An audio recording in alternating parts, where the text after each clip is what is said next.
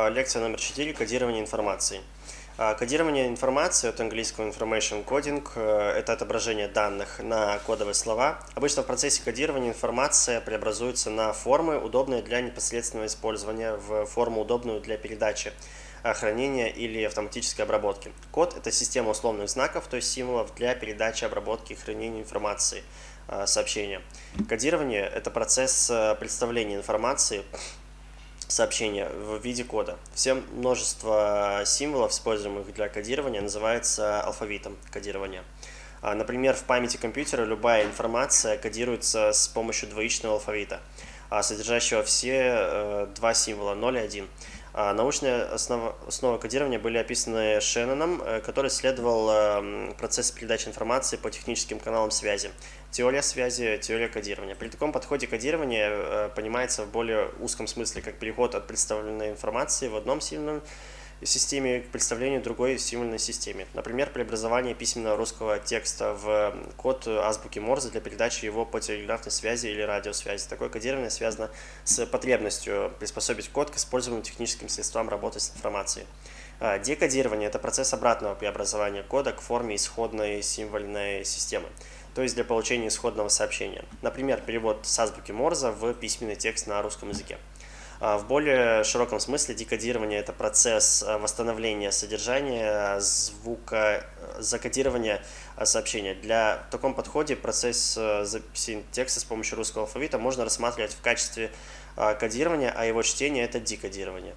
А, способ э, кодирования одного и того же сообщения может быть разным. Например, русский текст мы привыкли записывать с помощью русского алфавита, но то же самое можно сделать, используя английский алфавит.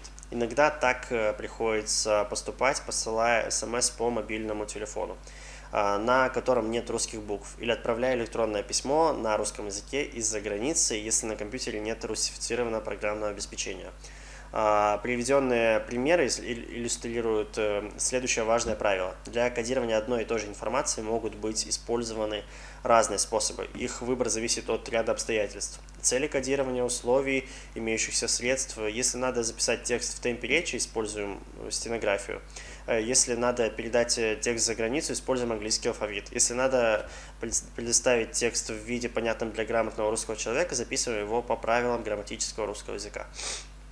В некоторых случаях возникает потребность э, засекречивания текста сообщения или документа для того, чтобы его не смогли прочитать те, кому не положено. Это называется защитой от несанкционированного доступа. В таком случае секретный текст шифруется. В, данные, э, в давние времена шифрование называлось э, тайнописью. Э, шифрование представляет собой процесс э, превращения открытого текста в зашифрованный, а дешифрование – процесс обратного преобразования, при котором восстанавливается исходный текст. Шифрование – это также кодирование, но с засекреченным методом, известным только источнику и адресату. Методы шифрования занимается наука под названием криптография. Под кодированием понимается процесс присвоения символьных обозначений, э, кодовых обозначений, объектам классификации с целью их предоставления в более компактной форме. Система кодирования – совокупность правил обозначений объектов, классификации и классифицированных э, группировок – условие обозначения объектов классификации с помощью знаков или совокупности знаков называется кодовым значением, а, кодом. При этом для каждого кода определяются длина кода, то есть количество знаков в кодовом обозначении, разряд кода, место знака в кодовом обозначении, алфавит кода, знаки, используемые в кодовом обозначении. Алфавит кода может быть цифровым, буквенным и буквенно-цифровым. Структура кода – это порядок расположения знаков в кодовом обозначении. Применение кодов позволяет снизить трудоемкость обработки информации, э, упрощает группировку данных, ускоряет запись информации на машинные носители. Лекция номер пять. Система счисления. Для отображения количественных характеристик описываемых объектов и последующих обработки этой информации были изобретены специальные знаки, цифры и приемы их комбинирования. Система счисления называется совокупность приемов, э, наименования и записи чисел с помощью цифр. В любой системе имеется ряд символов, называемых э, базисными цифрами. А все остальные числа отображаются с помощью базисных цифр посредством э, определенных математических операций. Системы счисления различаются набором базисных цифр, э, правилами образования из них чисел и выделяют два больших класса – непозиционные и позиционные. В непозиционных системах значение цифры не зависит от места, занимаемого ею в записи числа. Примером может э, служить римская система исчисления, в которой в качестве цифр используются латинские буквы, а в любой позиции обозначающей, соответственно, цифры. Э, в позиционных системах числения значение любой базисной цифры зависит от ее места в записи числа, называемой позицией, а количество используемых базовых цифр – основанием системы счисления. Привычной является индоарабская э, десятичная система счисления, в которой для записи любого числа используется 10 базисных цифр от 0 до 9. Эта система основана на том, что 10 цифр каждого разряда объединяются в одну единицу соседнего старшего разряда. Основание системы счисления, в котором э, записано число, обычно обозначается нижним индексом. Например, 5557 – число, записанное в симметричной системе счисления. Число, записанное в десятичной системе, основное, основное не указывается. Все позиционные системы счисления принципиально ничем не отличаются от привычной нам десятичной и обладают э, существенными преимуществами перед непозиционными. В них любое э, целое число записывается с помощью некоторых символов, каждый из которых в зависимости от э, занимаемого места имеет разное значение. В одном случае он означает число сотен, в другом число десятков. В позиционных системах правила выполнения арифметических э, операций намного проще. Всегда осуществляются по одной и той же схеме и требуют знания таблиц, сложения и умножения только однозначных чисел.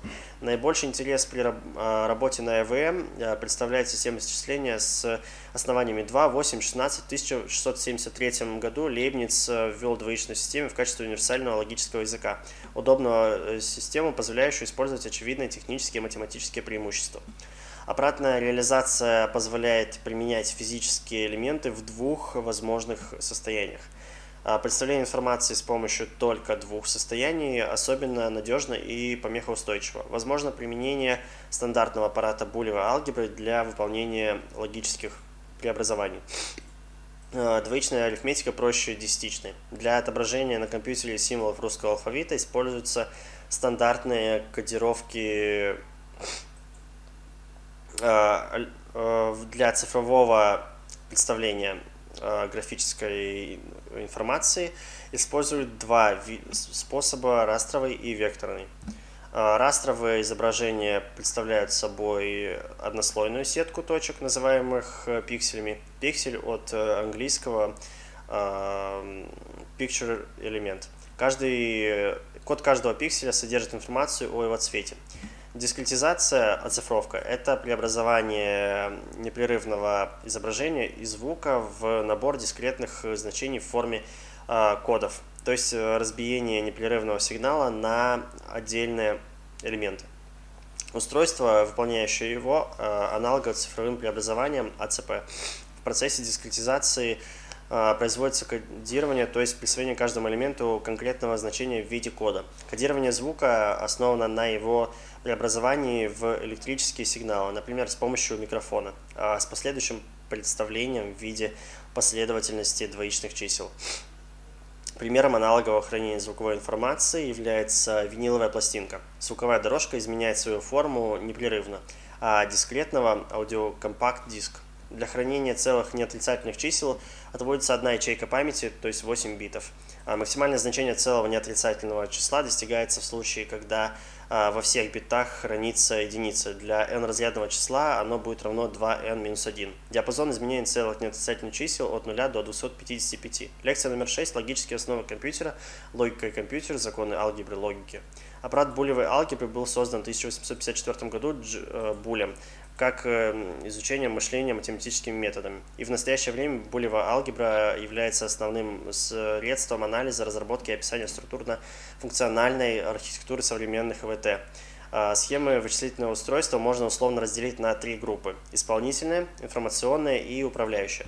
Исполнительная схема производит обработку информации э, представленной в бинарной форме. А информационные схемы служат для передачи бинарной информации. Управляющие схемы – выполняют управленческие функции, генерируя соответствующие сигналы, во всех случаях использующие сигналы двух различных уровней, которые могут представляться бинарными символами 0 или 1, или логическими значениями истина true, э, ложь false. Базовыми булевыми операциями являются операции и, and, или, or, или не, not. not. Операция и, and называется логическим умножением или конъюнкцией. Операция или, or называется логическим сложением или дизъюнкцией. А операция не not называется логическим отрицанием или инверсией. Задает аксиомы, постулаты булевой алгебры.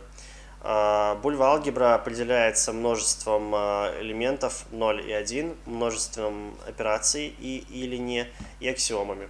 А, элементарные логические схемы, используемые при создании средств ВД, называются вентилями.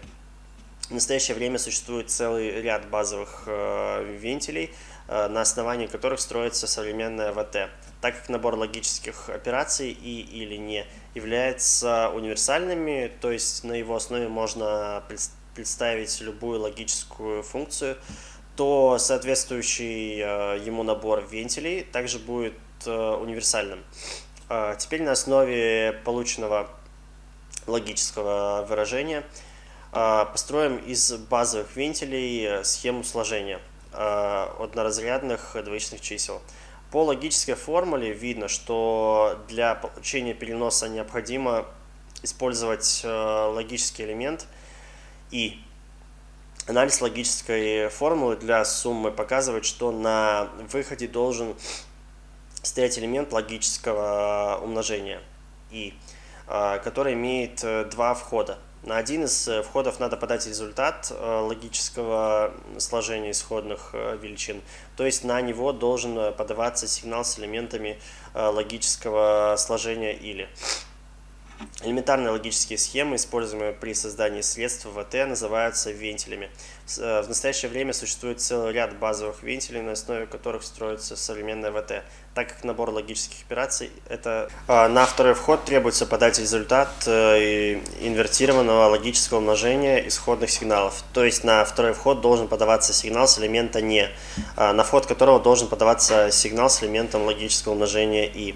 Важнейшей структурной единицей оперативной памяти ПК, а также внутренних э, регистров э, процессора является триггер. Это устройство позволяет запоминать, хранить и считывать информацию. Каждый триггер может хранить один бит информации.